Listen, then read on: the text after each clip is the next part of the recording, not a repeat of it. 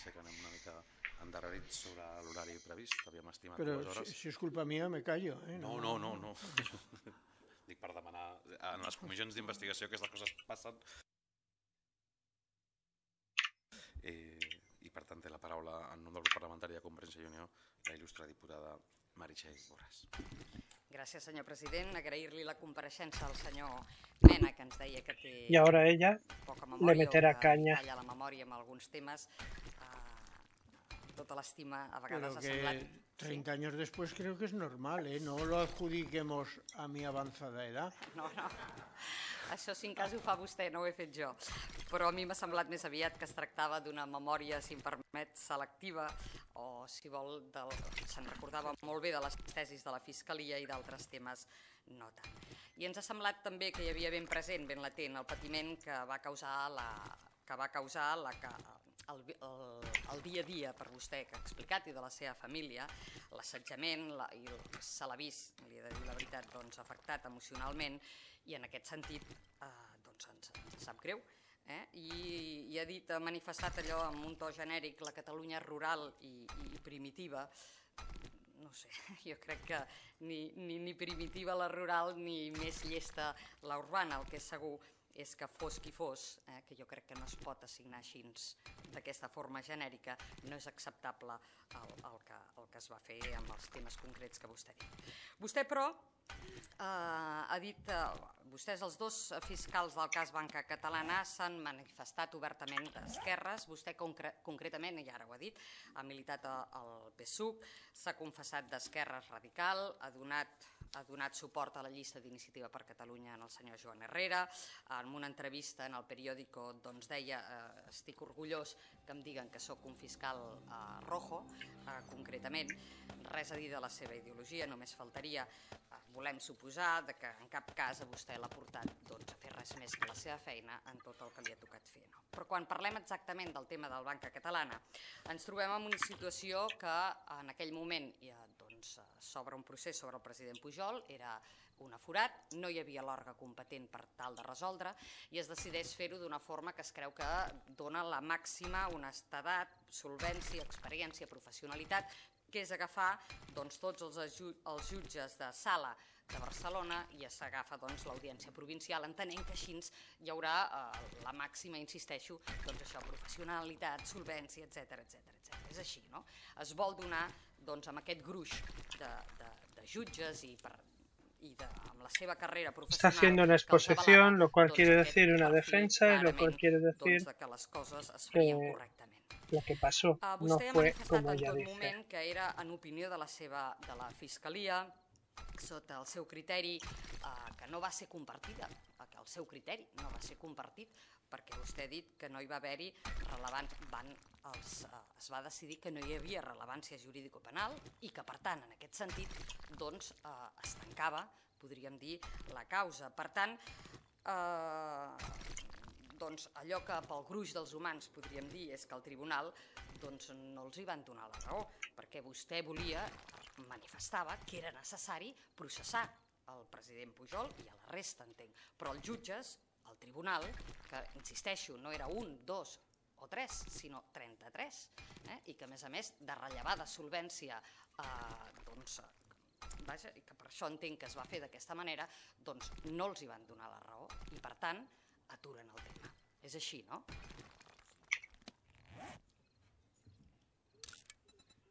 ¿Puedo contestar ya? Sí. Vale. En primer lugar, por, orden, no he dicho nada respecto a la ruralidad de Cataluña ofensivo. He hablado de unos determinados hechos puntualísimos que he marginado para que quedara claro que no he insinuado nunca, porque sería una estupidez pensar que habían sido mm, impulsados desde fuera. Y me he referido a que eran comportamientos en que se sumaba ruralidad más primitivismo. No que la Cataluña rural sea primitiva, manera. Dios me libre. La conozco bien, la. Cataluña rural, y tiene, como ustedes dicen, molta saviesa. ¿Eh? No, nada. Pero cuando se junta ruralidad primitivismo y arma de fuego, pues pasa lo que pasa. Eso es una cosa. En segundo lugar, hace usted referencia al pleno.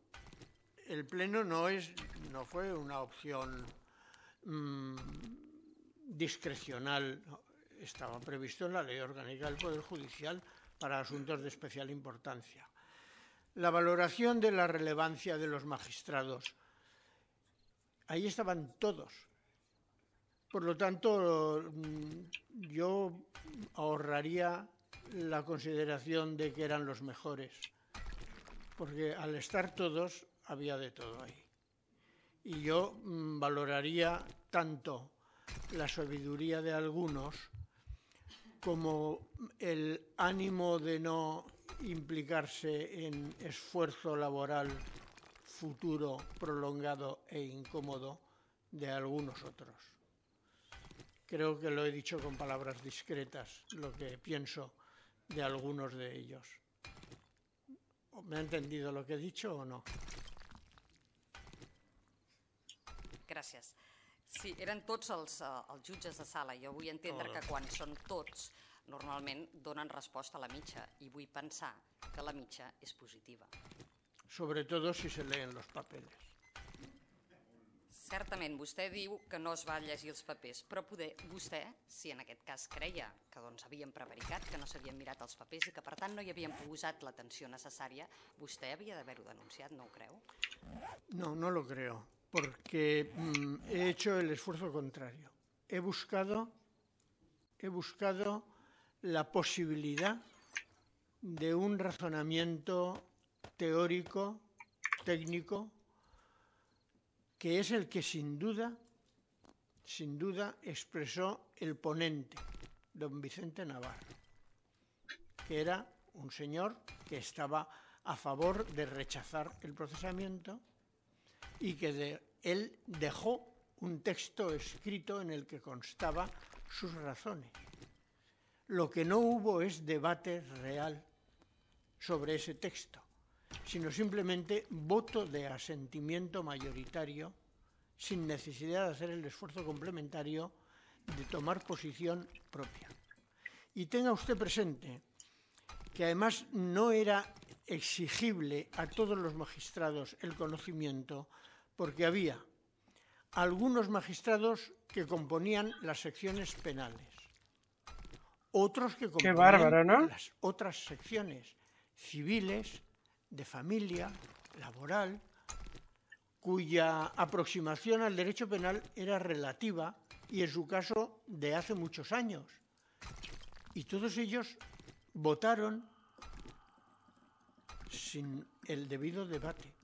Esa es, la crítica. No hay prevaricación, hay seguidismo, que a lo mejor no es la única vez que eso funciona así en la Administración de Justicia. Se vota con el ponente porque es lo más cómodo. Pero, mm, eh, como usted sabe, una cosa es la prevaricación y otra cosa es mm, una cierta superficialidad en la toma de posición. Por lo tanto, hay veces que el reproche no es penal ni ético, pero puede ser un reproche deontológico.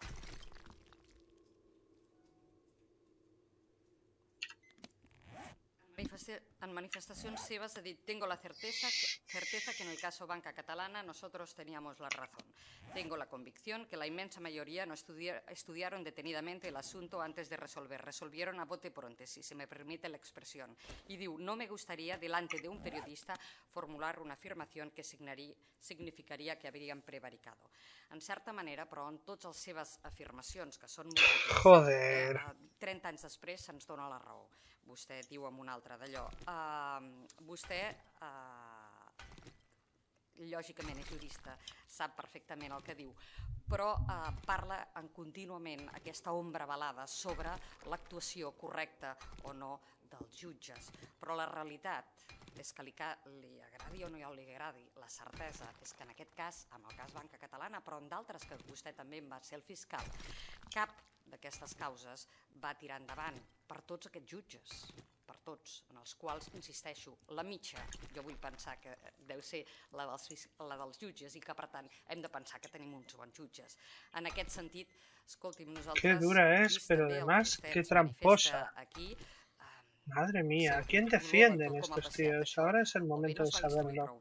O no va poder provar les seves tesis, o no hi havia res, però des del nostre punt de vista, i no, volem pensar en cap cas que la ideologia doncs, va pesar més que, que, els fets i les coses, la realitat és que ens quedem amb la seva darrera afirmació en la comissió, en la qual, esperi un segon, que la busco, que me l'he anotat, ens deia no, aquesta comissió no ha de fer un judici de revisió extraordinari o extrajudicial, no, i nosaltres ens atrevim a dir que no ha d'haver-hi tampoc cap judici en aquesta comissió i el que hem de fer és revisar lògicament allò que pugui no funcionar des de l'àmbit de la política, demanar responsabilitats polítiques si és que n'hi han, demanar conseqüències polítiques si és que hi han de ser, algunes de fet ja hi han sigut, i modificar allò que calgui. Gràcies i res més. Bueno, veo que mm, la posición de usted está marcada por un manifiesto, una manifiesta objetividad y totalmente a favor de que los hechos se esclarezcan debidamente. Yo mm, participo de ese mismo, criterio. Eh, que no he ganado asuntos importantes en mi vida. Pues mire usted, posiblemente está usted ante una de las personas más acostumbradas a jugar en bando perdedor y deseo acabar mis días sin pasarme nunca a un bando ganador. O sea que tampoco eso es mi problema. Creo que teníamos la razón, pero teníamos la razón en la relación de los hechos los hechos, los hechos eran los que constaban y que no ha contradicho nadie. Mm, eso mm, debería significar un análisis sobre el planteamiento de deontología de banqueros, por lo menos, y de ahí trascender a la ética en la gestión del, del dinero del prójimo y de ahí al reproche ético, cívico y, en su caso, penal. Los hechos no los ha contradicho nadie. Los hechos estaban ahí. El vaciamiento patrimonial es un dato objetivo.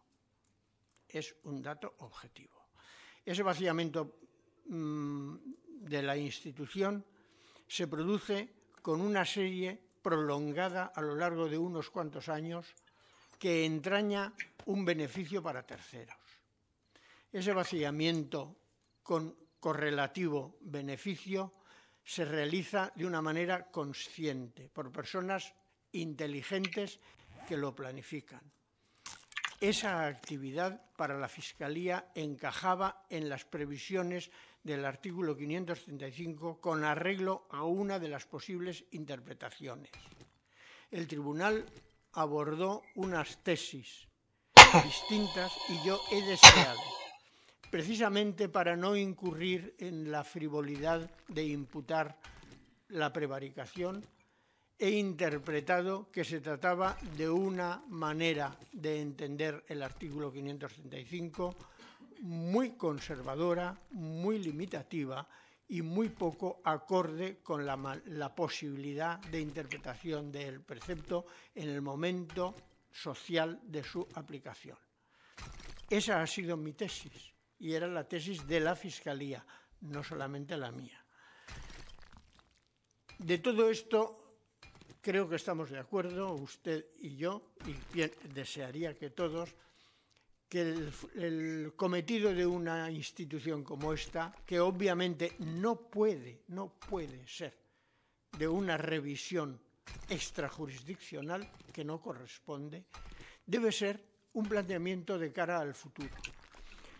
Si la Comisión le corresponde o no hacer una valoración de pretérito, de establecer o no un juicio de reproche, como usted ha dicho, de responsabilidades políticas, a mí no me corresponde. Pero lo que yo sí desearía es que cara al futuro, dado que hoy, todavía hoy, los instrumentos de las instituciones de la Administración de Justicia y en concreto de la Fiscalía son manifiestamente insuficientes hasta el borde de la incapacidad para perseguir comportamientos como este que se puedan seguir repitiendo, porque el ser humano es como es, y se pueden seguir repitiendo, que comportamientos como este puedan ser atajados en el futuro. Por lo tanto, por un lado, espero que cuaje en todos ustedes y en el Parlamento en su conjunto la certeza de que es necesaria una reforma de disposiciones legislativas que tienen que abordarse como textos de leyes penales en Madrid, pero grupos parlamentarios tienen ustedes.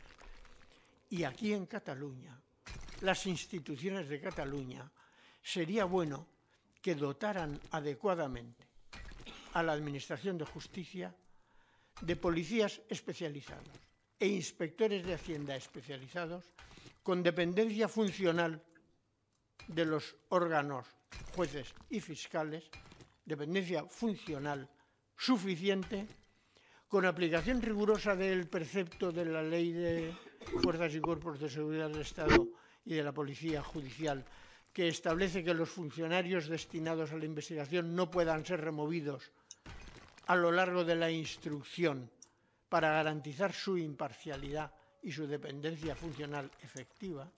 Es decir, dotarnos de medios cara al futuro para hacer posible que comportamientos como este, que ocurrieron históricamente hace 30 años y en cuya reperseguibilidad o re reproche yo no voy a entrar porque, porque no me corresponde. Por cierto, hace usted referencia a manifestaciones que yo he hecho, pero mmm, permítaseme tener un comportamiento mínimamente esquizofrénico decir, de separación de personalidades. Una cosa es el ciudadano normal al que le pregunta a un periodista en la calle, que puede desenvolverse con un mínimo de fluidez cuando no tiene las vinculaciones de la estructura institucional, como es el caso de un jubilado. Y otra cosa es venir a una sede como esta a opinar. Entonces, lo que yo digo aquí es lo único que yo creo que debo decir aquí. Pero lo que he dicho fuera no sirve para ser dicho aquí. Yo comprendo su gesto de perplejidad, pero es un hecho objetivo. Lo que yo he dicho aquí es lo único que yo digo aquí. Y lo único que digo aquí es lo que recuerdo, lo que no recuerdo, lo que opino en sede parlamentaria y lo que yo sugiero y casi como, como profesional del derecho y exfiscal digo, mmm, la Fiscalía y los juzgados de instrucción en este momento carecen de armamento para hacer frente a este tipo de delincuencia. Hoy. Y por lo tanto, si queremos que estas cosas, los que vengan dentro de 30 años, no tengan un debate como este, si queremos evitarlo, vamos a proveer de medios para que de hoy en adelante estas cosas no se repitan. Esta es mi única súplica. Moltes gràcies. Eh, abans de passar a la següent compareixença farem una pausa de, de 5 minuts, però permetim dues apreciacions. Eh, ha sortit en el decurs de la intervenció del senyor Mena de sol·licitud hipotètica de nova documentació, si els sembla com demà ja Un segundo. és tan senzill com que els grups ho entren